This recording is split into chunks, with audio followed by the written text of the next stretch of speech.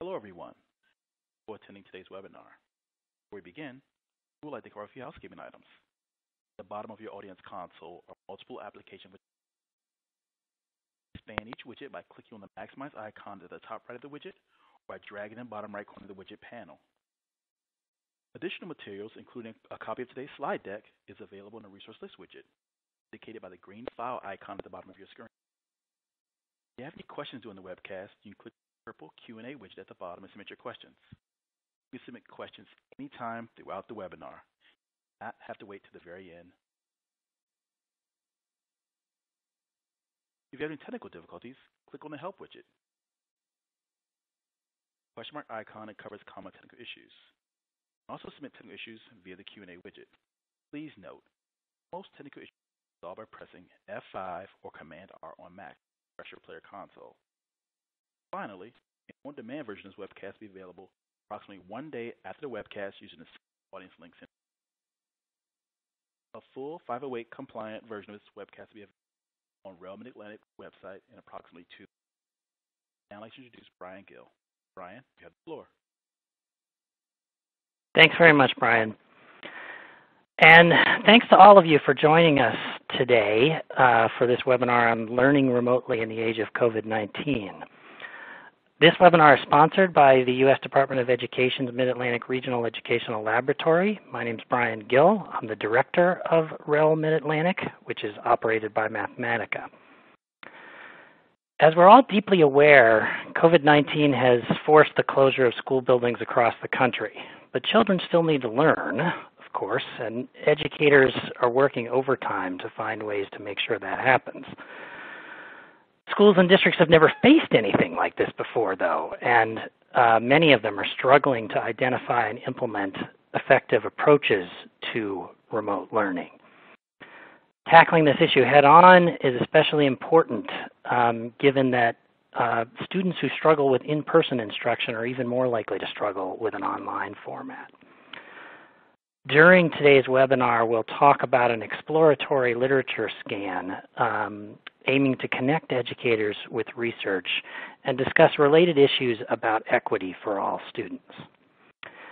Now, it's important to mention that this webinar builds on a workshop that was hosted last week by our colleagues at the Midwest Regional Educational Laboratory. That webinar focused on research-based resources and considerations for um, virtual learning. Both of these events are part of a larger series of webinars, blog posts, and other products for educators, for parents, for administrators that collectively represent really an unprecedented collaborative effort across all 10 regional educational laboratories spanning the country. And you can find a link that lists all of those upcoming products and activities in that resource list widget that Brian Willis just mentioned. For today's webinar, we've got three goals. First, we're aiming to connect with what research says and what it doesn't say about practices and approaches that support remote learning. Second, we'll present a framework to help inform decision making for educators as they respond to the need to implement remote learning systems. And third, we'll highlight some approaches to addressing equity concerns that are magnified by the closures of school buildings. As the session proceeds, feel free to share your question in the Q&A box um, that Brian mentioned before. And at the end of the session, we'll have, we should have plenty of time for our team of presenters to, uh, to respond to a number of questions. We'll get to as many as we can um, before our time is up. So with that, uh, I want to briefly uh, introduce today's presenters. Um, we have three esteemed presenters today. Heather Bennett is Director of School Equity Services for the Pennsylvania School Boards Association. Felicia Hurwitz and Steve Malick are both staff on REL Mid-Atlantic and researchers at Mathematica. And uh, now I will hand the presentation over to Steve to get us started. Thanks, Brian. Um, I'd like to overview the plan for today. So first, we'd like to take a few moments to get to know all of you and who's joining us today. Then we'll provide some context for how districts in our region are responding to the sudden school closures and describe strategies that districts across the country are implementing right now. We'll then share the results of our exploratory literature review and highlight some of the most promising practices educators can use um, to meet the needs of their students during current school closures. Finally, we'll explore strategies to promote equity for students in the age of remote learning. But we'd like to get to know who you are, so we'd like to learn who's joining us today. On your screen, um, you should see a uh, widget pop up or a little poll, and we're asking you to select the option that best describes the role, your role at your organization. Go ahead and take about 30 seconds, and then we'll share out the results of that.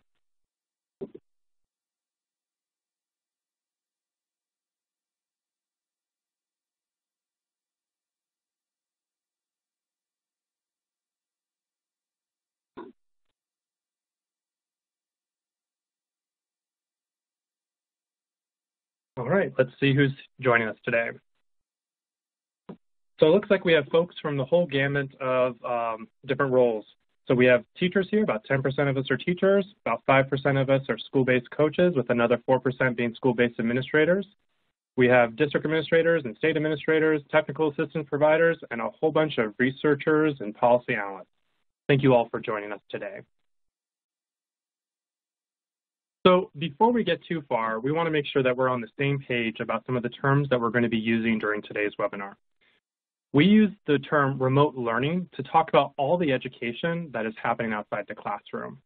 This remote learning includes everything from online instruction to paper and pencil learning with packets. In this way, we can think of remote learning and distance learning as synonymous.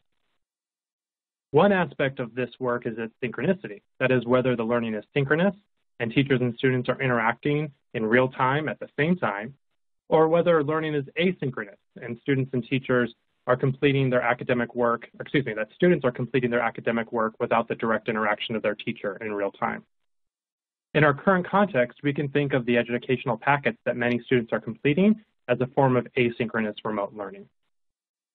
We also use the term virtual learning to describe all learning that relies on some form of technology, such as a Chromebook, a laptop, or a tablet. Now I'm going to hand things off to Felicia to discuss the current context of school closures.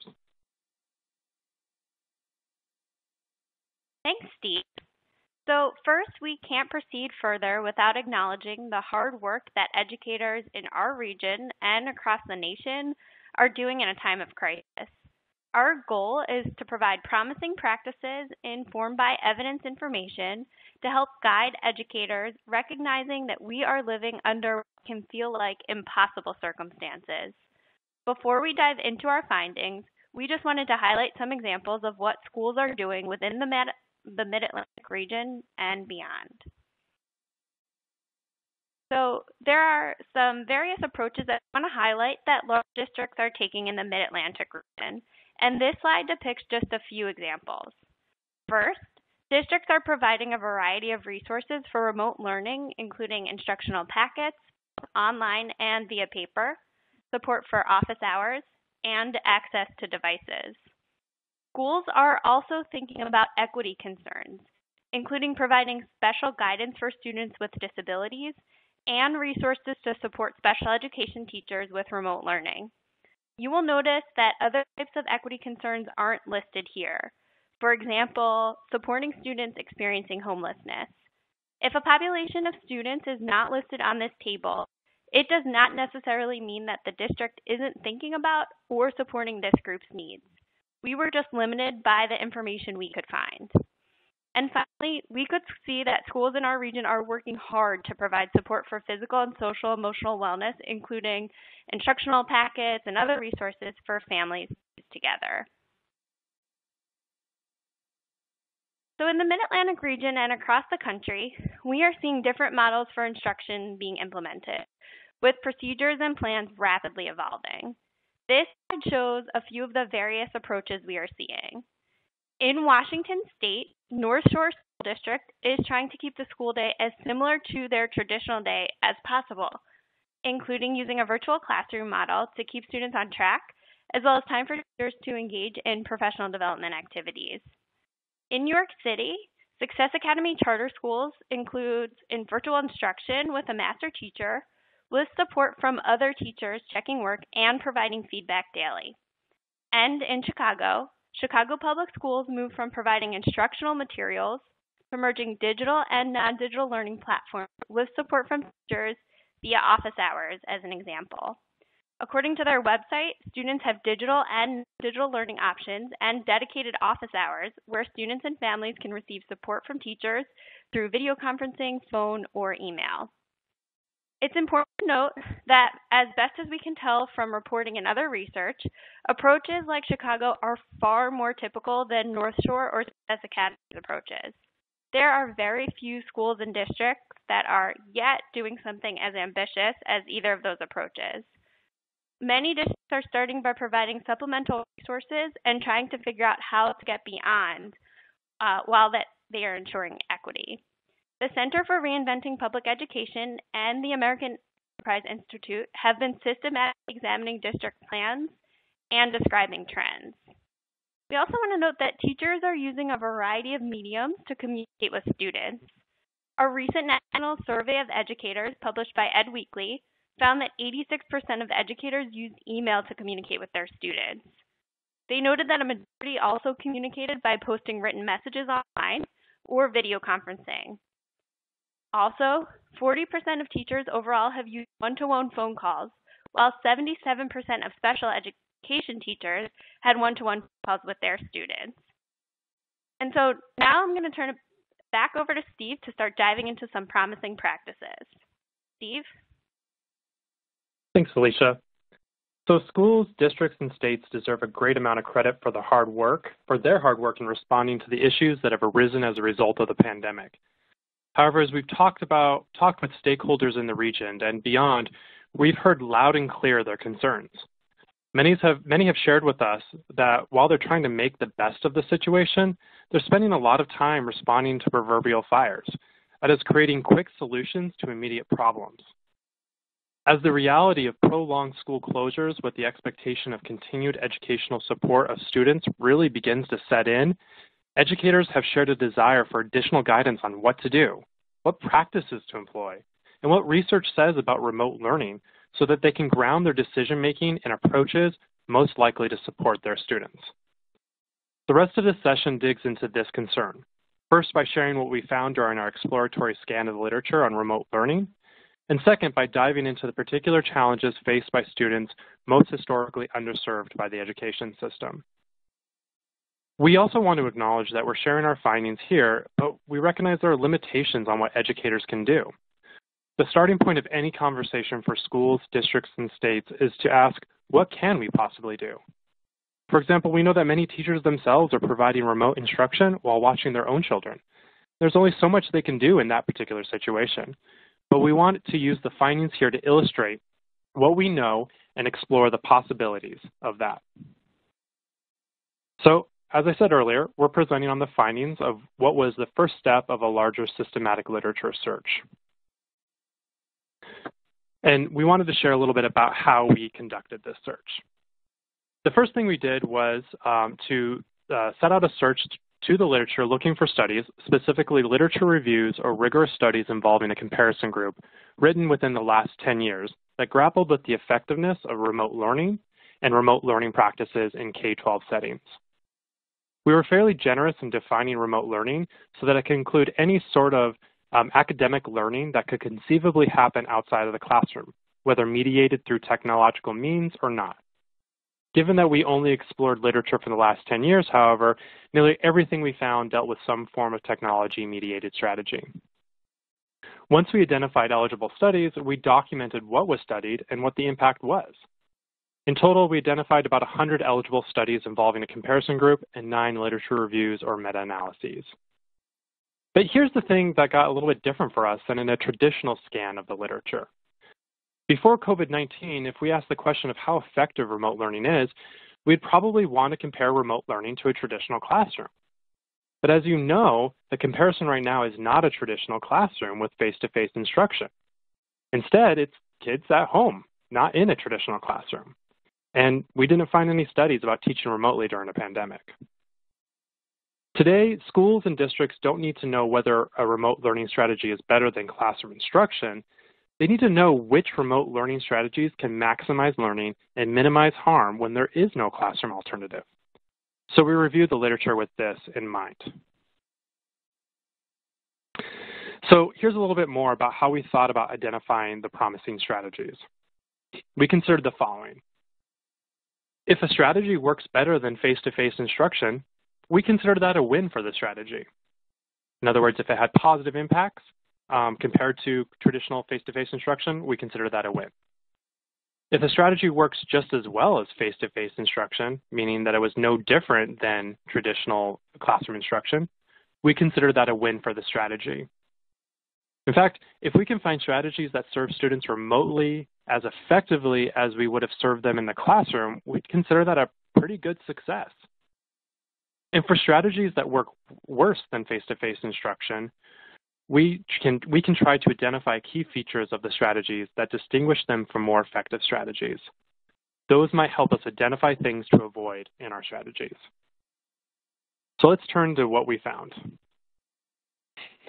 Again, we think there's something to be learned from all the studies, even those with negative impacts.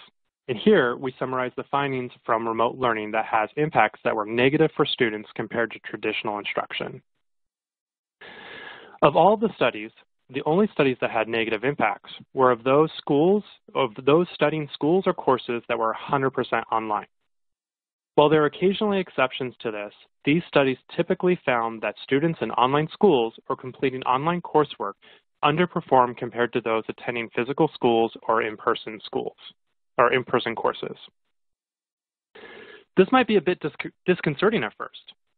And so when we examine some of these studies a bit more closely, the authors repeatedly discuss the idea of synchronicity. Again, the idea of uh, students completing coursework at the same time that the content is being delivered or receiving real-time support and feedback. The authors of these studies suggested that this might be an important reason why students on average were less successful in these settings compared to their peers who attended in person. So let's pivot from those studies with negative impacts and now look at what promising strategies we identified from studies that had positive or equal findings. Across the studies we examined, many involved a study of web-based applications. One involved using phones. Some looked at the use of technological devices without internet access. None have examined a model that we've seen emerge where schools send home packets of work. We did want to note that many of these studies occurred within the walls of the classroom. As I mentioned earlier, we were generous in our definition of remote learning. If a program or strategy could be used to support remote instruction, we included it regardless of whether the study was conducted in a school or not. But the headline here should be encouraging, especially given the alternative for students. While rigorous, more rigorous research is needed to definitively say this, here's what we found out about these strategies. First, we found the positive and neutral finding studies involved feedback, tutoring, or support strategies. Over 40% of all eligible studies grappled with various ways to provide additional support to students.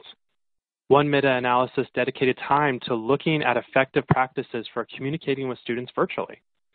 Several studies explored so-called intelligent tutoring systems that tailored feedback or scaffolded instruction to students based on how they were responding to questions. Some involved collaboration, and one even, one even fostered conflict, that is, argumentative discourse to support persuasive writing. Next, some involved project-based learning. About 10% of studies involved project-based learning or using tools to explore content. Instruction involving authentic projects had positive impacts. One study finding a particularly positive impact for English language learners in their ability to explain scientific content. Some involved games or virtual simulations. Several studies found positive impacts on students engaging in learning through games or virtual simulations. Gaming and virtual simulations varied in complexity, but all were mediated through a digital device. And last, they planned for more than just content delivery.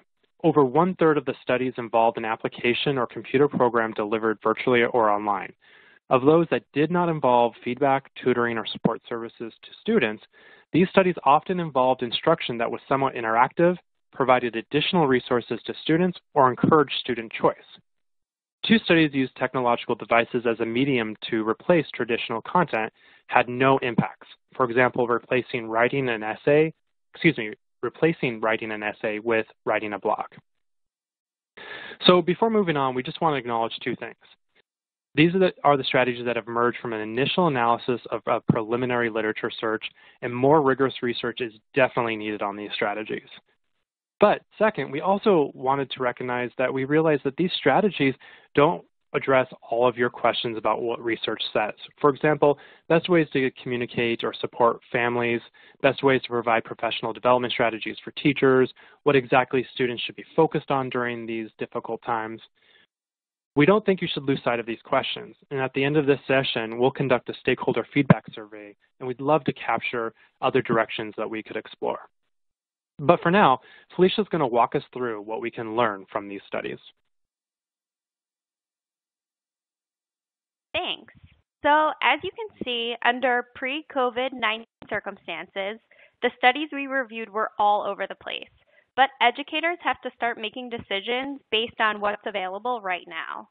While more rigorous research is needed, we thought about the unique characteristics of these strategies and extrapolated what sorts of insights that schools, districts, and states consider.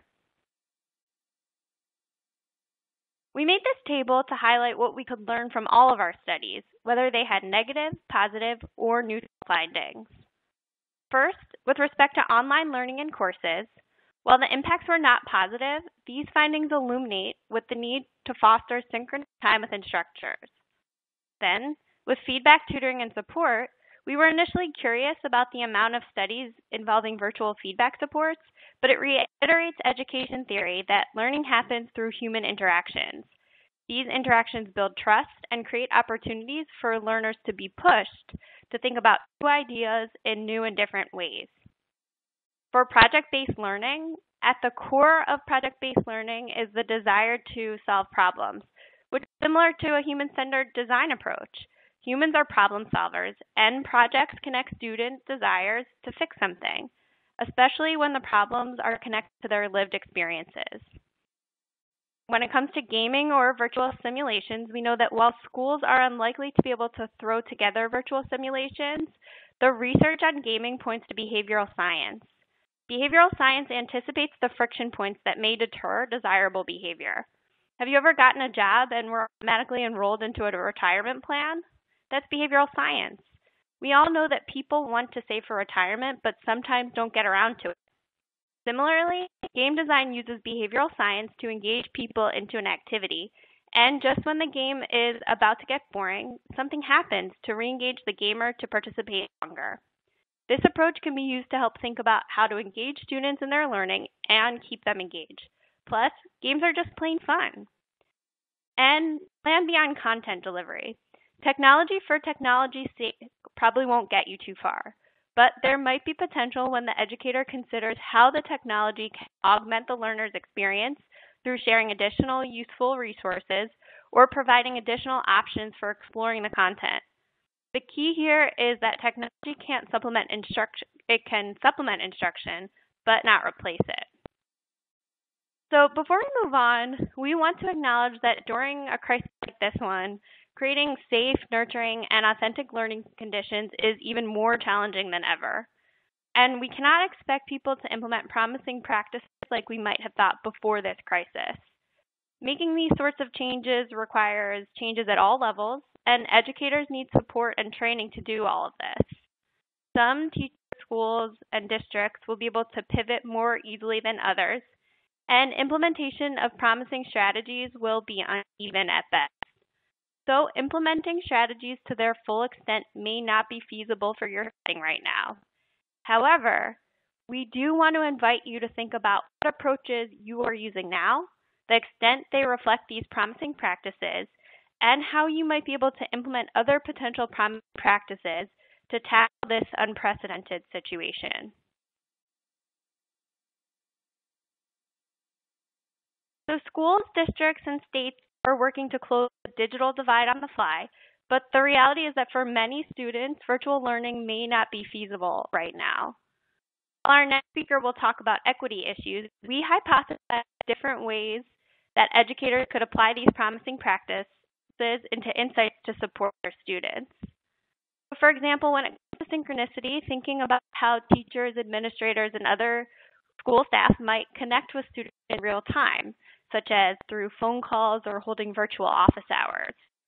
Thinking about how students receive feedback and connect with peers about their learning through phone calls or sharing pictures of their work, perhaps sharing feedback in the mail or by picking up feedback when they uh, from the same place that they pick up meals.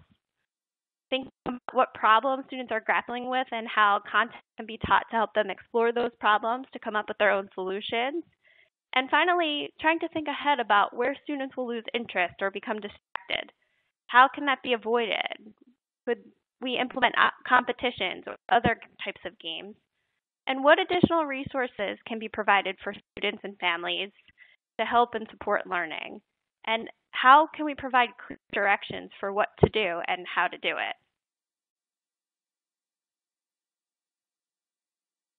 So the last thing we'll say is this. If this conversation about research is making you feel like you want to know, well, so do we. In many ways, the rules for how we do school have just fundamentally changed, and we just don't have the exact evidence to tell you exactly what to do. But luckily, you have the power in your hands to do something about that. So here we're going to highlight two resources that are helpful in doing this. The first is the Evidence to Insights or E2I Coach. The E2I Coach is a free online platform to help you generate evidence about what's working in your unique context. This is incredibly important because if someone is working in your school or district, this applies rigorous methods to measure the impact.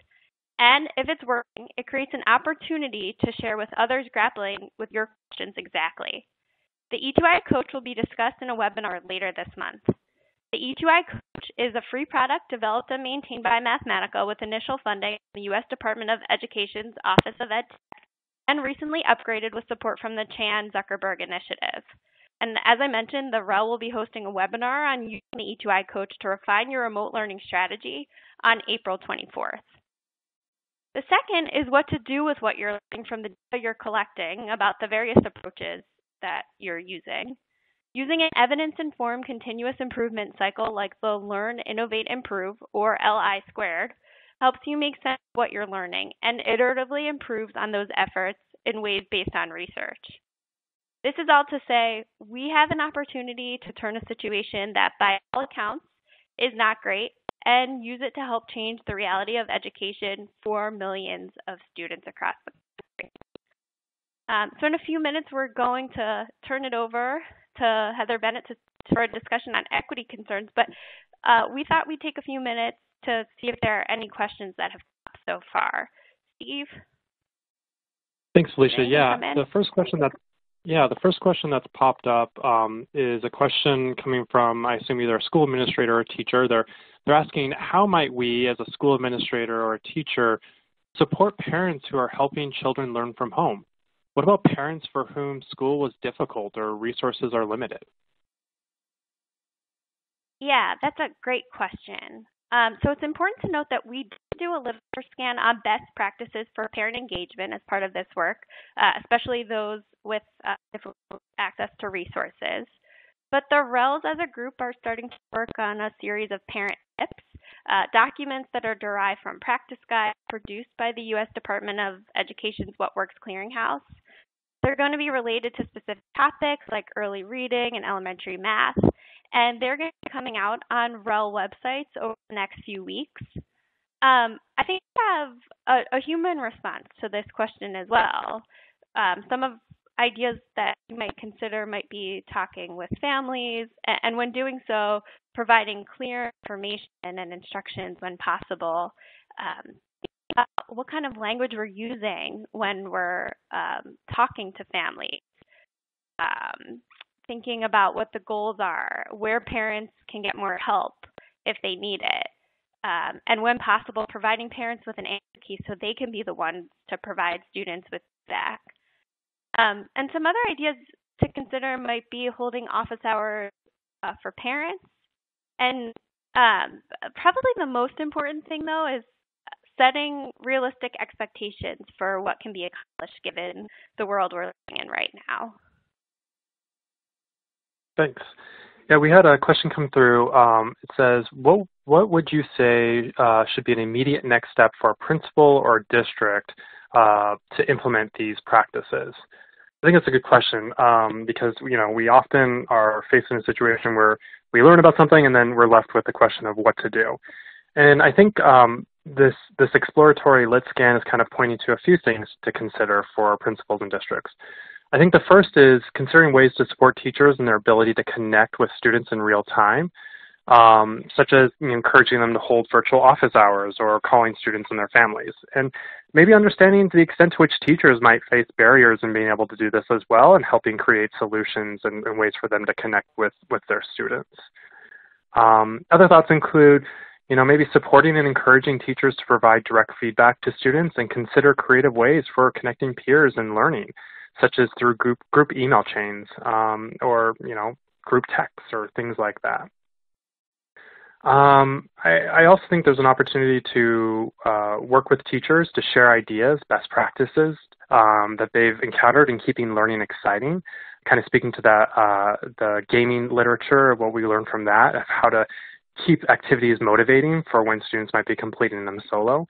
Um, and you know, one idea might be creating competitions where you have leaderboards where your students are kind of earning points along the way and getting excited that way. Um, I'm a former middle school math teacher, and I've never had a competition that my kids didn't get really excited about.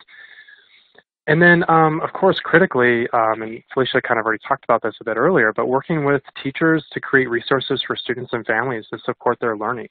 Um, I recently was uh, watching my nephews um, during their remote learning day, and uh, former teacher, former teacher coach, and I was reading the directions, and I was a bit confused about what my nephews needed to do. And so, if I'm confused, you know, I can only imagine. And so, thinking about how to provide clear directions to families about ways they can best support their students, and connecting them with resources that could help them um, um, help their students um, make the most of this situation. Yeah, that's great. Uh, it looks like we have another question about how federal and state agencies can support districts during this COVID 19 crisis. Um, I'll just say that we know everyone has been responding to this in real time and putting a lot of time and energy into making a difference for students and their families and their larger communities. Um, so I think it's probably about continuing on with those efforts, you know, identifying policies that are helping and considering providing specific guidance, uh, especially for populations of students that are not historically well served. And in spirit of collaboration and not evaluation, thinking about how to push districts to think about continuous improvement. For example, finding ways that districts can track progress and share what's working across other districts and schools. Great. Um, and we're going to pass it off to Heather in just a second, but um, someone just asked us for a reminder of where they can get um, some of the resources we referenced and actually a list of the references that we use as part of the literature search. And um, we just wanted to point out that you can get access to a full list of those citations using the resource list widget which you can find. It's got a little green file icon at the bottom of your screen. And we'll also be posting that list with the recording of this webcast. But that being said, um, we are excited to hand things over to Dr. Heather Bennett of the Pennsylvania School Boards Association. Heather, it's all you. Hello, how are you? Um, it's really great to be here, and I'm excited to um, discuss and explore strategies to promote educational equity during remote learning. And so um, I start off by trying to frame uh, the problem here. Um, we've already had a problem with digital inequity before this pandemic. Um, this issue is not new, and the National Digital Inclusion Alliance defines digital equity as equal access to digital tools, resources, and services to increase digital knowledge and skills. Um, access to digital resources, unfortunately, um, have not been equally distributed. High poverty schools, rural schools, low income English learner and students with disabilities and their families in Pennsylvania and across the nation are disproportionately harmed by the lack of access to digital tools and resources. Students and parents who do not have access to digital tools and resources are typically at a disadvantage in their academic progress, making it difficult for students to complete homework assignments, projects, research assignments, and of course it impedes parental communication and engagement with the school. This equity gap can also be compounded due to the cost, lack of in infrastructure, and discrimination in the investment distribution of services to certain communities and populations. So this was the issue before the pandemic. What we're seeing during this pandemic is that COVID-19 has exposed and exasperated um, as well as compounded the digital inequity problem and has forced districts to react quickly to provide devices, um, really discuss internet access and instruction so that children will not be at a further disadvantage. Unfortunately, the students that are experiencing the most hardship right now in this in this light are the same students um, in schools and communities that desperately needed these resources before the pandemic. Um, the opportunity gap between districts, schools, and students um, unfortunately may only widen um, during and after this pandemic. And so I really wanted to couch this as a major equity issue here because that's exactly what it is. Um, to, so today we're going to talk and discuss three main digital equity learning concerns, um, access to digital devices, um, access to connectivity, um, which is like internet, high-speed broadband internet, and then also um, access to instruction. So let's start off with um, access to hardware or devices. Um, when we're talking about uh, digital learning hardware, we're typically talking about computers, laptops, desktops, and notebooks, and of course mobile devices such as smartphones and tablets. But here's the problem. Typically, what we see in research is that high poverty schools um, and also um, economically disadvantaged students um, have limited access to these devices. Um, even if students have access to a device at home, the device may not be conducive to complete school assignments given to them by their teacher or school. Um, there is a difference between writing a research paper on a smartphone or conducting a research assignment on a smartphone than on a laptop or notebook. So we have to understand when we think about devices that they differ as well in access and usability. And of course, according to the 2016 US Census, smartphone only households tended to be low income Black and Latinx um, families and students. So how has COVID-19 exacerbated this issue? Um, I, I, saw that there are three major issues to discuss here. Um, providing devices to every student um, is extremely a, a, huge budgetary concern um, uh, for district administrators and school board directors. Um, for the most part, devices are expensive. And districts are, in this point, are trying to obtain the resources to purchase these devices for their students. Um, for districts, some districts waited until the pandemic to provide devices for every student, while some districts had already had a one-to-one plan um, prior to the pandemic. So we're seeing an inequity gap right there in, in that. Um, also, questions about the fact that devices were typically, um, if they did have devices, they were typically provided to high school and maybe middle school students. Um, but now districts are thinking about how they can provide devices to um, fit the needs of their elementary school students. Another issue in, in this in this framing is devices in the learning platforms may are, are not compatible or easy to use. Um, so the second issue I wanted to talk about is providing students with a device um, safely, um, which calls into effect this idea of sanitation. Um, one Pennsylvania superintendent indicated that providing devices for all of her students will not would not be the problem, but distribution would be. So there's issues of sanitation in, um, in terms of sanitation and concerns regarding that. How are you going to provide the devices to the students who need it the most in a safe manner when we're in this process of social distancing? Um, also, the third, um, the third issue in this piece is learning how to use the device. Um, getting a device is one step, but teachers, parents, and students also have to be aware of the device features and learn how to utilize that device for it to be effective. Um, so how do we deal that with that? How do we, how are we, what are ways in which to mitigate this inequity that we see in terms of accessing devices? Um, well, first, it's important to provide devices to students with the most need through mail or a specified distribution site, and we have to take into consideration the safety of staff and families in distributing devices. We know that some school districts have decided to mail um, their devices um, in the, uh, using, utilizing the mail to the most needy families. Um, so, for example, multilingual learners, students with disabilities, or students living in public housing.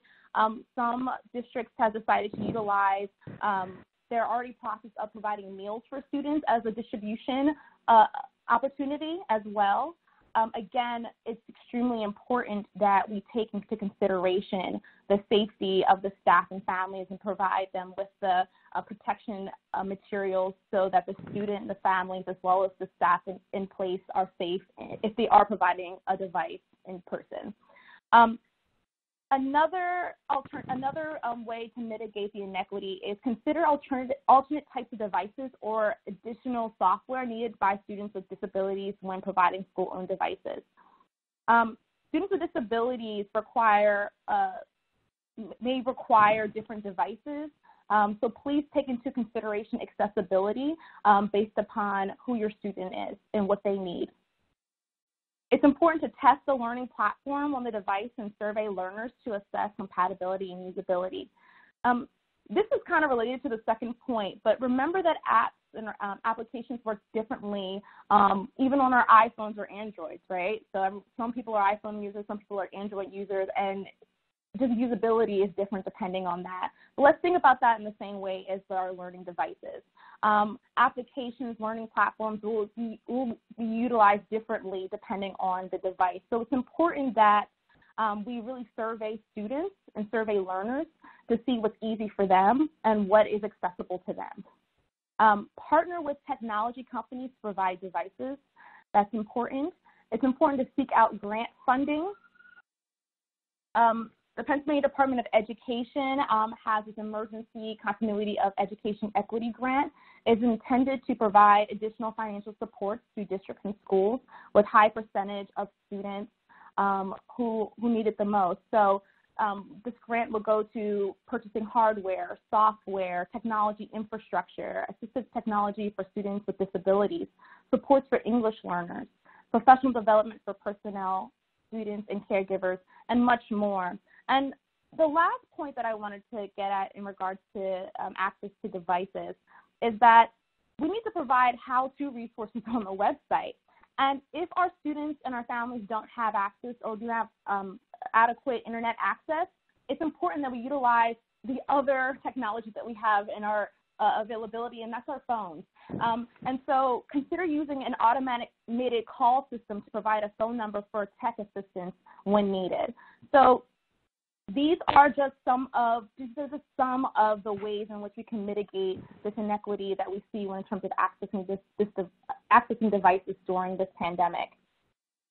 So we're going to move on to the second um, issue, equity issue that I, I, would like to address, and that is access to connectivity. Um, let's start with the problem. Access to hardware means absolutely little if the school and the student lacks internet connectivity. There is an extreme digital gap identified by class, race, and often geographic location um, when it comes to internet access.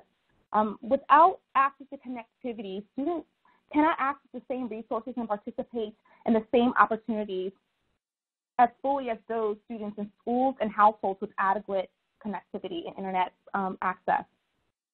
So for an example, according to the 2016 FCC report, um, it indicated that in Pennsylvania, there are about 800,000 Pennsylvanians, Pennsylvanians, or 6% of the, uh, or 6% of the population who lack robust, reliable, high-speed internet.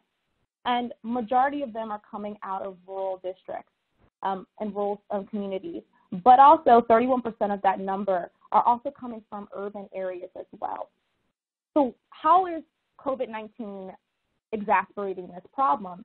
Um, so due to the COVID-19 and the spread of the virus and the need to social distance, schools have shuttered across the country and in Pennsylvania. Yet the requirement to implement instruction is still important for schools to push forward. And the only way to conduct instruction um, is through some form of digital learning opportunities.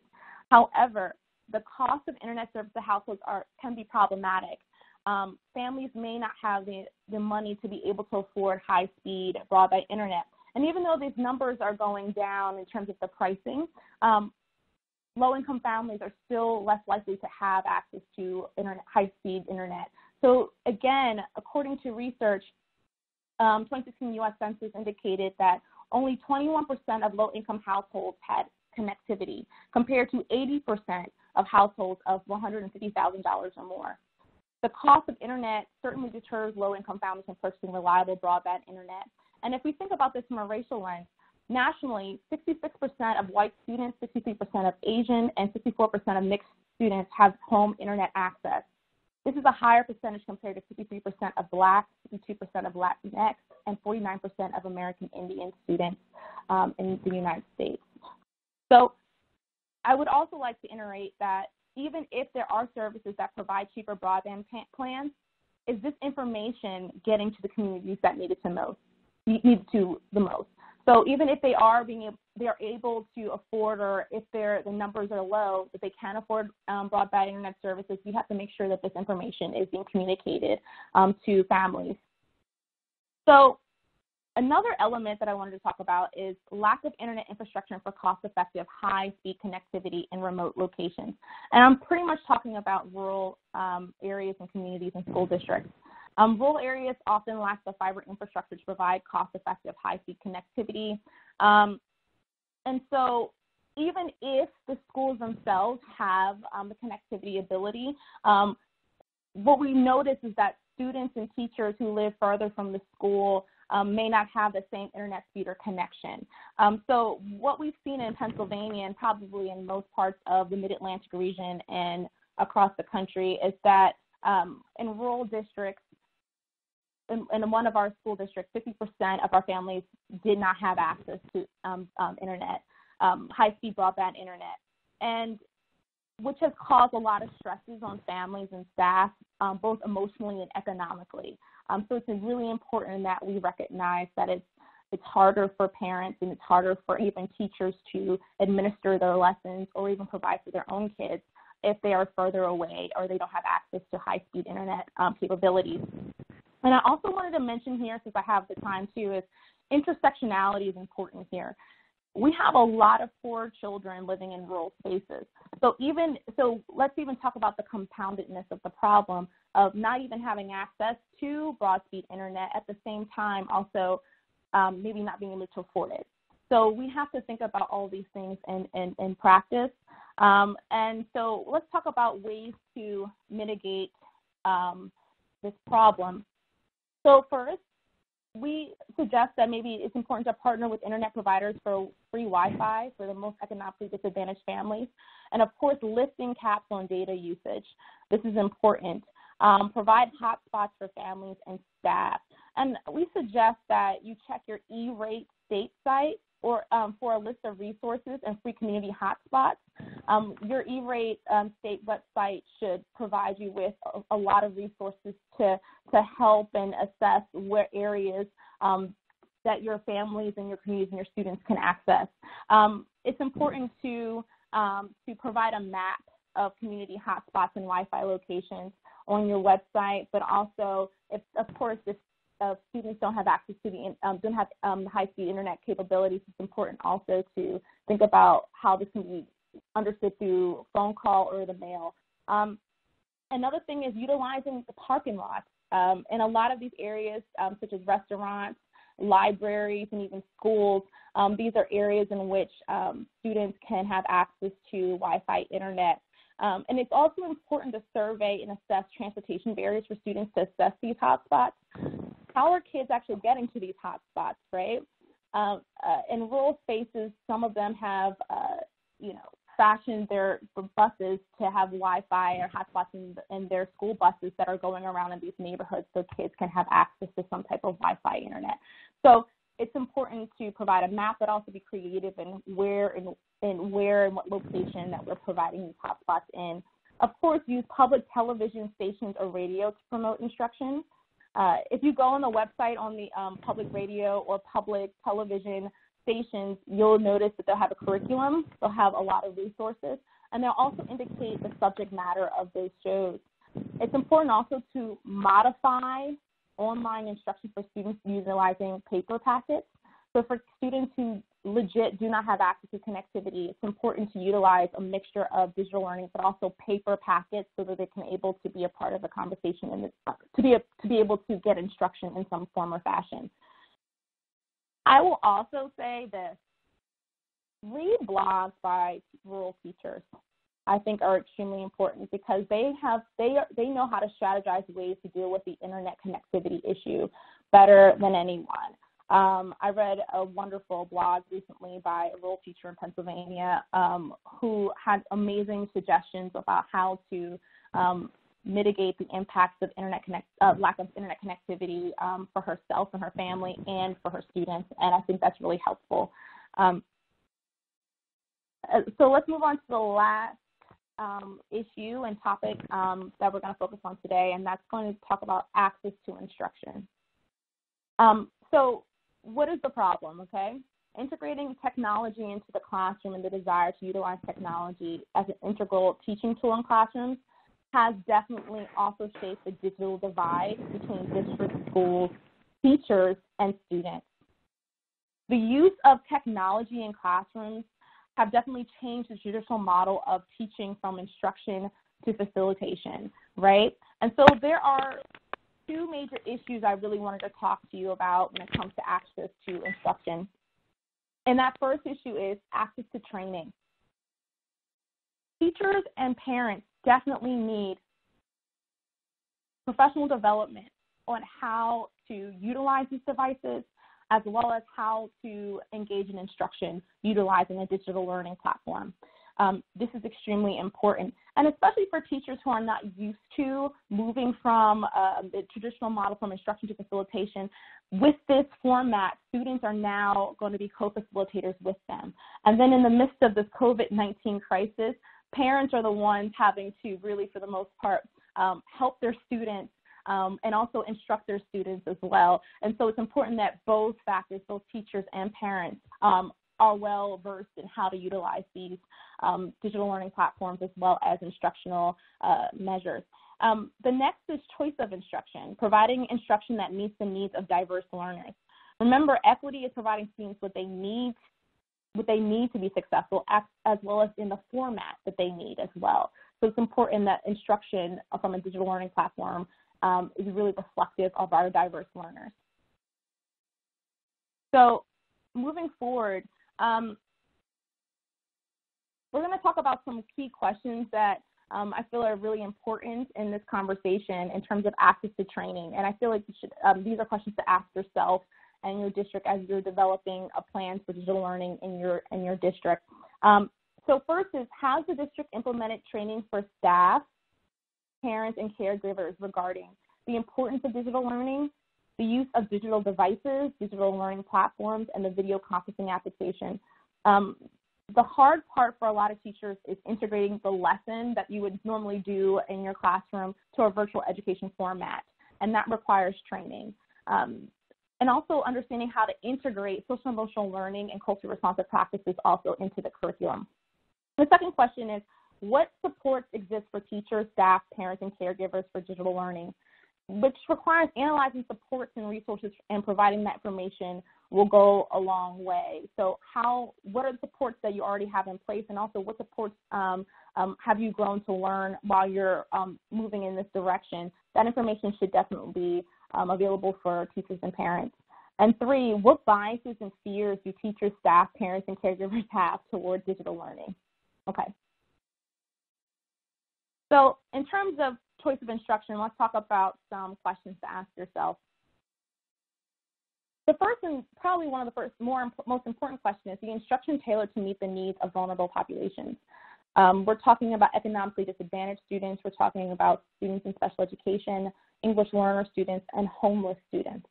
Um, we recognize that these um, that these populations and these student populations require additional supports, but also supports tailored to meet their specific needs. And so it's important that we're thinking about in terms of instruction, how are we reaching these students? Second is the instruction tailored to, to meet social emotional learning and focus on mental health needs. Um, I'm going to go in a little bit on this, but it's important that we recognize um, how important uh, mental health and mental health is in this time frame um, prior to the pandemic, but also during the pandemic as well. Um, third question is instruction culturally responsive, right? Fourth is how will you promote academic rigor?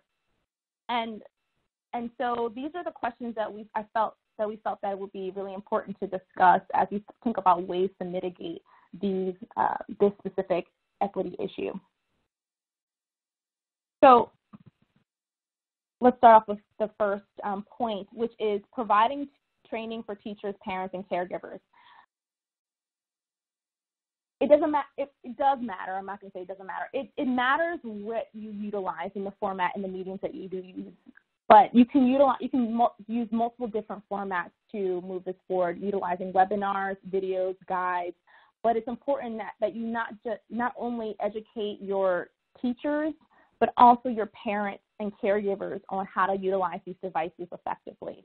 Um, so utilize your website as a place for um, some of these uh, um, uh, spaces, some of these trainings, but also with your own teachers, making sure that you're spending time and you have the time set out for for, for, full staff professional development on utilizing these um, devices and learning platforms, and also learning instruction. To focus students in instruction. It's so important that we're centering students in this work. And so that requires us to really think about content that reflects the experiences and identities of students and families. When we're, choosing videos, when we're choosing text, that we're reflective of the different cultural identities of our, of our students. And, our, and, and also making sure that we're recognizing um, that they feel like they belong in, within the instruction as well. So let's make sure that we are really focusing and centering our kids' identities and cultural uh, spaces and frameworks into our curriculum. Allow students to choose topics and engage student voice in decision making.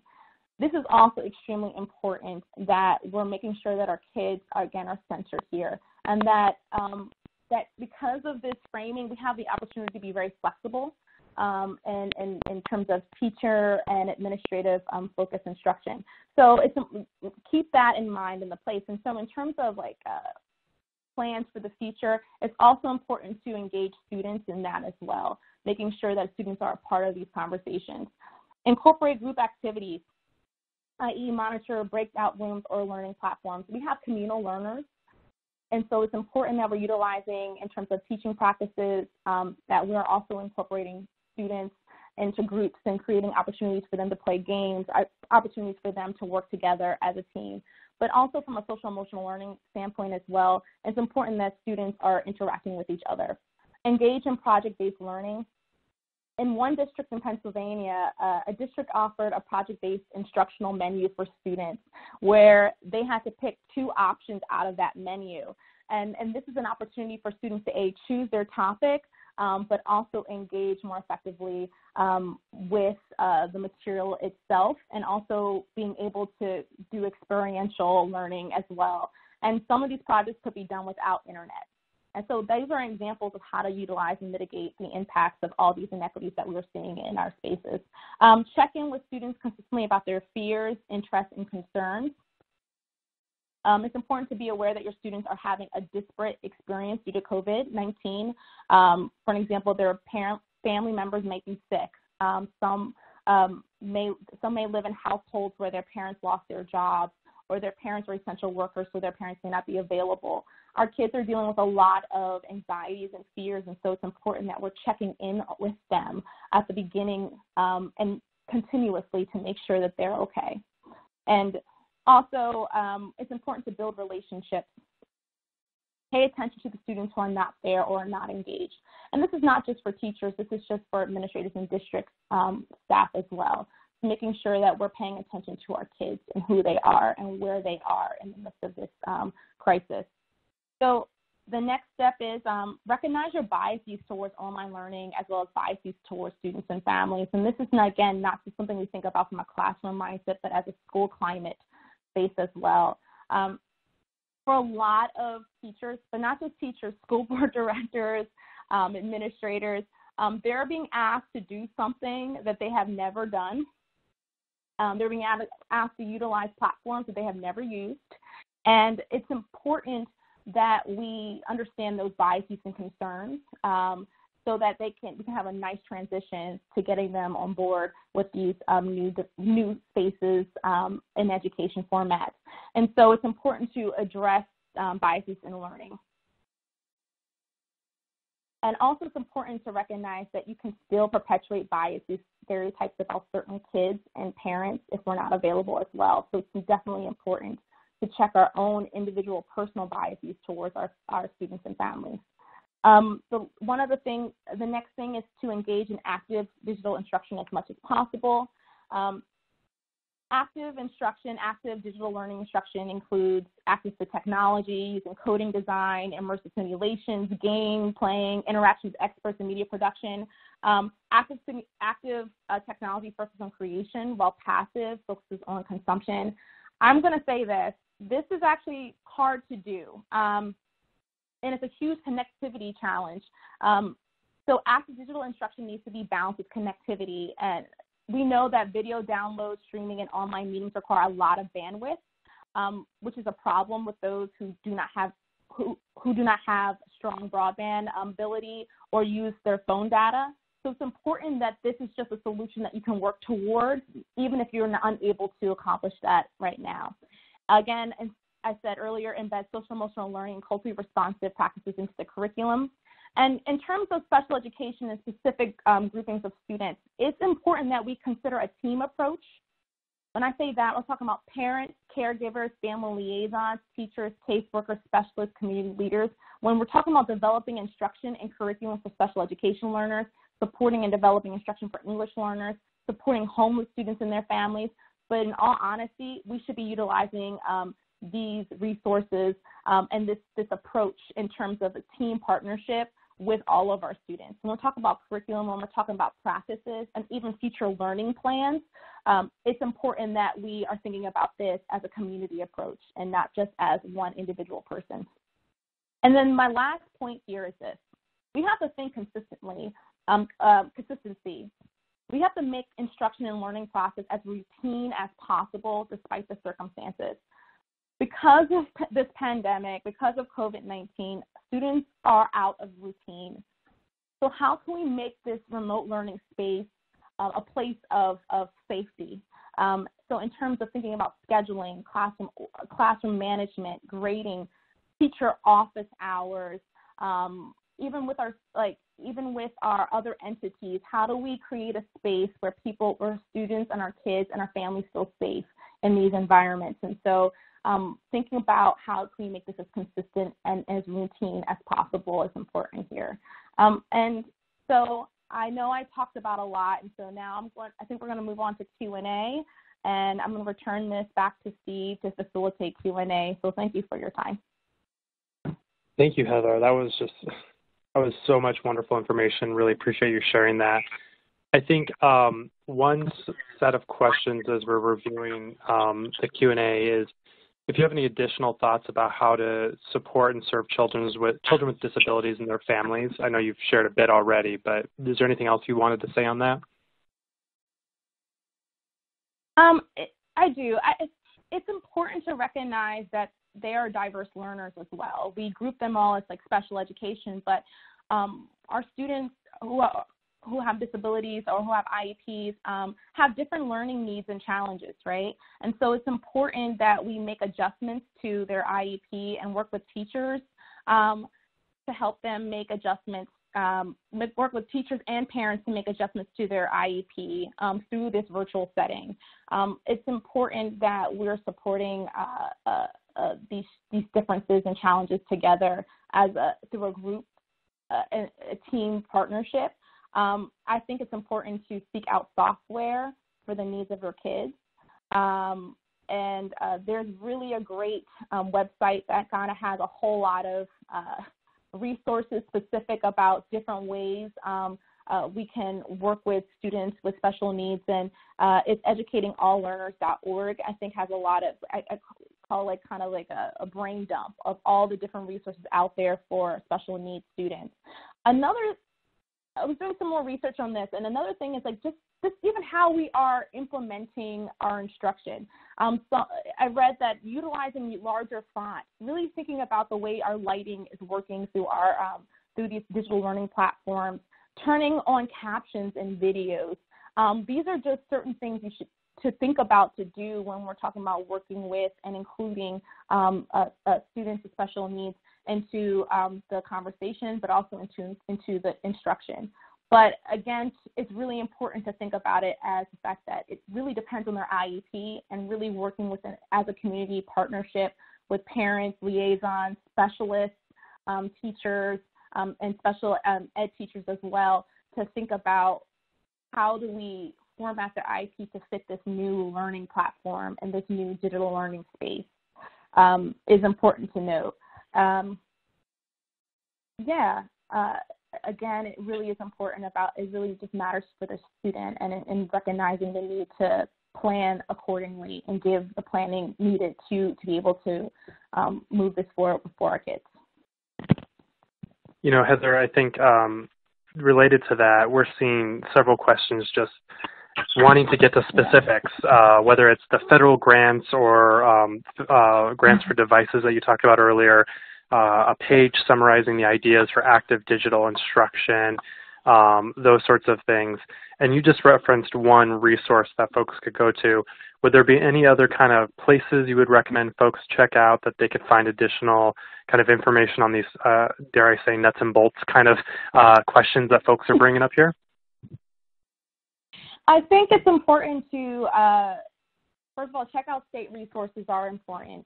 Um, um, in terms of nuts and bolts uh, uh, uh, spaces, um, I don't have a list right now in front of me specifically about all the all the specific needs, but I can definitely provide some resources at the end of uh, um, after this um, webinar is over. Again, it's really really important um, here to recognize that our our kids need different resources, and that's why I don't have specifics um, outlining specifics right now.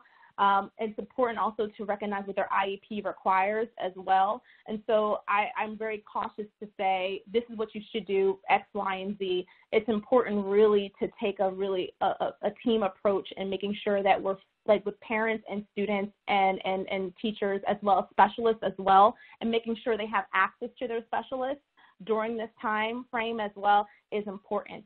But I will also go into this as um, I will also go into this it's important to develop and maintain routines here. Um, I think especially with uh, um, with some of our students who require um, uh, cognitive or even behavioral support, it is extremely important that we're creating a space where um, our devices are usable for them, that they're accessible, um, and that uh, it meets their needs specifically, that we are um, uh, making sure that there's a routine in place, that um, the parents know the routine, the teachers know the routine, the students know the routine, so we can make things as simple as possible, uh, make sure that things are going to move uh, uh, uh, um, as as easy as possible, and d- despite this extreme um, shift and change in, in education um, practice as a whole. So I, I think in terms of again, I said earlier, I'm not, I don't really have specifics like X, Y, and Z, but I definitely think about in terms of a world, a whole rounded approach is one, utilize your team, making sure that you're sitting there and discussing how to um, uh, reformat the IEP to fit the digital learning spaces. Um, two, making sure that there's a routine in place uh, is important. And also making sure that when you're giving instruction, that um, it fits the specific needs of that student um, are the biggest um, takeaways that I can, can provide right now. Um, but again, I will provide some more resources after um, um, this webinar is over. Thanks, Heather. Um, maybe two more questions for you. this next question, I think, kind of uh, follows up on that pretty logically, and something that I, I kind of personally resonate in thinking about talking to the young people in my family. Um, and the question is, how do we convince teachers it's important to check in with students and ask about their fears and concerns and how they're doing?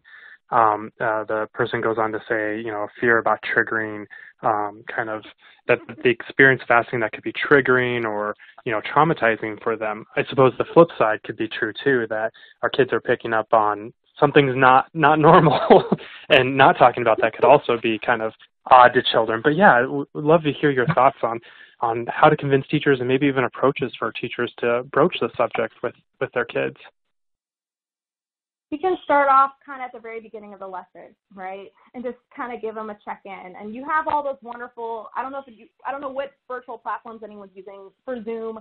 You have all those emojis and all those special things that you can utilize to kind of check in and just say, hey, are you okay? Give me a thumbs up. If not, you know, or just kind of ask a question at the very beginning of the day, like, how are you feeling? Um, get, name one good thing, one um, thing you're concerned about um, during this time. And this is kind of a social emotional learning practice. And the, so just it creates kind of a community from the very beginning. Um, but also it can create a routine as well. I talked about earlier about routines. If you if you're utilizing that same format throughout the whole throughout the lesson, then um, throughout the instruction, throughout the time throughout the instruction, you start to recognize that kids will be ready for it, and they might start to engage a little bit more. Um, also, um, you talked earlier, Steve, um, in the early part of the presentation about office hours. Um, if students are not uncomfortable talking about it as a group uh, through these platforms, having you know teaching teacher office hours are is extremely important method as well. Again, having the teacher share about their concerns and fears is important. Students are not the only ones going through um, uh, this issue. It, it's it's everybody, and so um, it's important that teachers are um, teachers are uh, able to share about their own concerns, about their own fears, to kind of bring more students in. Again, this is about building partnerships and building community at the end of the day, and uh, having that being a part of the the process, the classroom day is important. And I'm not just talking about teachers and students administrators working with teachers, asking them how they are doing, making that a part of um, any type of professional development or instruction. Um, school board members, when they are um, meeting together, um, uh, just having having a space for humanity, I think, is extremely important to start off any any program or meeting it certainly resonates with me. It reminds me of some some research around early childhood and letting kind of children take the lead, and and we can apply that to all levels of of people. You know, whether they're young children to uh, older children to adults. Uh, I think there's a lot of that that resonates with me in terms of the value of that. Um, I think one more question for you, Heather, and then we're going to turn to kind of answer some questions that came up during um, an earlier portion when we were discussing the lit review. But uh, one of our advanced questions, Heather, um, asked about how schools should start thinking about getting ready for the next school year. And I know that seems so far away. We're still trying to figure out how to get through this school year. But um, you know, when when hopefully when kids get back into class in the fall, you know, some of the equity issues that you've discussed might be playing out in new and different ways or exacerbated ways. Would love to hear your thoughts on uh, what thinking um, schools and districts and states could be putting into place now to get ready for that? I think it's important to recognize that that what we're seeing right now is uh, is districts and teachers and, and, and, and school leaders moving very rapidly and quickly and also very flex like recognizing how flexible they can and, and trying to provide instruction for students. And so it is extremely important um, that we start to, to really look at our data um, looking our data before the pandemic, during the pandemic, and after the pandemic to start to think about what are barriers to opportunity, what, what, how have disparity, what are the disparities um, that existed, and also how have they widened um, uh, in, through this process. So really thinking about that data piece is important. If you have not conducted an equity audit yet, it, I think it's extremely important to do one. Um, right after this pandemic. I mean, right after um, at least get to some semblance of normal. Um, I think it's also in in order to plan for uh, future uh, uh, uh, for the new school year. It's also important to recognize that you have to include parents and student voices into whatever planning process is necessary. Because how COVID-19 impacts uh, how has it impacted different demographic groups has been very disparate. Um, so it's important that you really are including the voices and really the stories of different groups of students and parents and families and community members into whatever planning um, um, space as well, uh, the planning structure um, moving forward. Um, it's also important to recognize um, that you have to start thinking about this through an equity lens. Um, I think a lot of districts are recognizing more and more every day that what we're seeing is an issue. I, I call it an inequity bomb or an inequity accelerant. Um, we are throwing gasoline. COVID 19 and the impact has been like throwing gasoline on an already explosive um, fire. So it is also really important that we start to look at our policies and our practices um, as a whole and start to recognize, okay, how will we um, perpetuating inequity through those through those spaces, and of course professional development. So, and I I think in terms of planning for next year, I think it's important that districts are starting to think about this um, systematically. I know it's crazy right now. I know we're all in a crisis right now, but it's so important that we start to put some things in order, at least some steps in, whether it's um, really developing, finding, getting task force members, getting them, getting them involved, and just starting that, and just kind of looking at the data from before, and sort of looking at the data while it's going on to start moving towards a plan for the future.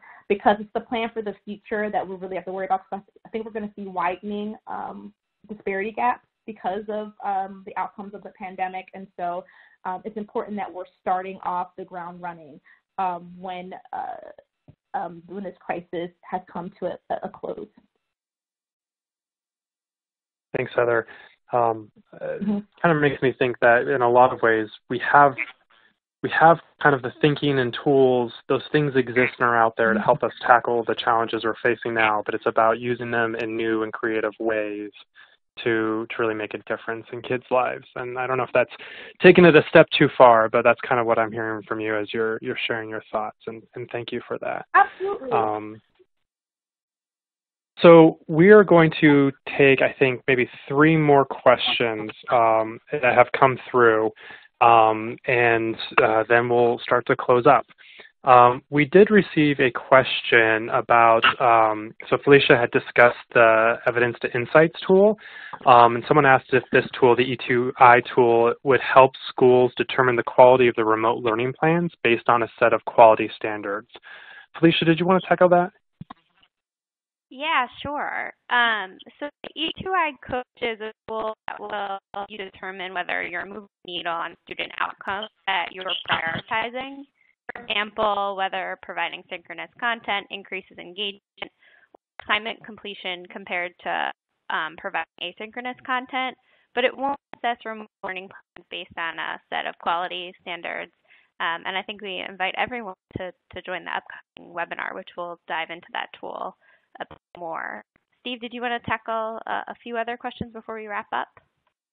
Yeah, um, we had a question about what the literature says about supporting learners of um, English and when they require support to acquire language while also learning the content. And we thought this was a real good question, and admittedly, we've only begun to scratch the surface of this in our in our literature scan. Um, so we won't be able to definitively say the literature says X, um, unfortunately.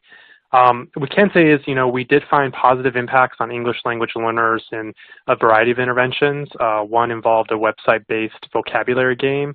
One involved interactive inquiry instructions, and um, another involved collaborative learning activities.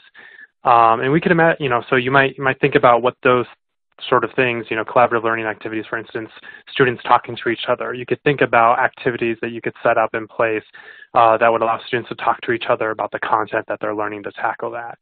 Um, you know, so, but again, we're just beginning to scratch the surface of this, and we could imagine other supports might be needed depending on the content and level of language acquisition that the student has. Um, we also received a question um, about synchronous versus asynchronous um, learning. Um, this person says, I'm still curious about um, synchronous versus asynchronous, finding that since digital inequities lead to more asynchronous opportunities, what is it about synchronous and can those aspects be, uh, somehow be improved or increased in asynchronous offerings? And our response is we agree, we're pretty curious about this too and want to learn more. Um, we wonder, you know, kind of are wondering based on our understanding of the literature um, at this point, and again, needing to dig more into this, our wondering was if it might have something to do with the combination of real-time feedback, accountability, and relationship building that you do in person. And so our wonderings were, you know, how could you create opportunities to give these sorts of sentiments in, a, in an asynchronous setting? You know, for example, maybe it's watching a video or reading a text and then having a structured follow-up call with a friend to talk about it or, you know, have a small group check-in with a teacher. Um, but we definitely agree that this question is, is worth more exploration. And so I think, you know, what this kind of uh, response and, and hopefully the spirit of what we've shared with you all today really gets at you know there are some kind of arrows pointing in some directions it seems from literature from our very you know um, exploratory literature scan that are pointing to these promising strategies and it's up to us to kind of make sense of that and think about what works what we think might work and then trying it out and then hopefully using those continuous improvement cycles, evidence-informed continuous improvement cycles to monitor where we're at and, and steps we could take and, and learning from what we're doing to share those best practices with others. So thank you all so much for those questions, and I'm going to pass it back to Felicia, who's going to close us out. Thanks, Steve. So um, in the next few weeks, we really want you to look for more resources from the REL, including an infographic directly related to this webinar. The IES website on this slide will provide a full list of COVID-19 related resources all across the country, including a link for the next upcoming event, which is a quick chat from REL Central called Strategies to Support Remote Learning Along a Continuum of Internet Access. And that event is on April 16th. Um, in addition, we also invite you to visit the Comp Center COVID-19 Compendium for more resources for schools. And I'll mention that both of these links are available on the dashboard on this webinar. So we want to hear from you. Um, at the end of this webinar, I'm going to ask you to complete a brief survey. We want your feedback on today's webinar, of course, but we also would like to hear more about the related topics that you would like to learn more about. And as a reminder, this webinar recording will be posted on our website along with a full list of citations that we use as part of the webinar. So I just once again, want to thank everyone for joining us today. This slide provides contact information for all of the speakers. Please don't hesitate to reach out if you have further questions. Thank you.